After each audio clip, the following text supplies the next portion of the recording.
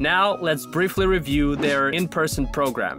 On September 22nd, the second day starts at 7:30 a.m. with a breakfast and a warm welcome followed by a telehealth and the metaverse live holographic keynote that showcases the world of 3D holographic technology and its potential to revolutionize healthcare. As the day progresses, you can look forward to engaging keynotes and panel discussions covering a wide range of topics, from virtual nursing to the impact of AI-powered data ecosystems on health workers. After a lunch break at 12:30 p.m., a follow-up set of sessions takes center stage, focusing on digital health, telehealth, AI, and blockchain. The afternoon begins with a cutting-edge demo of a remote care software backed by blockchain technology, emphasizing safety, privacy, and interoperability. Panel discussions continue to explore essential topics, including telehealth's impact on population health, AI's contribution to personalized care, and innovative approaches to cancer diagnosis and treatment.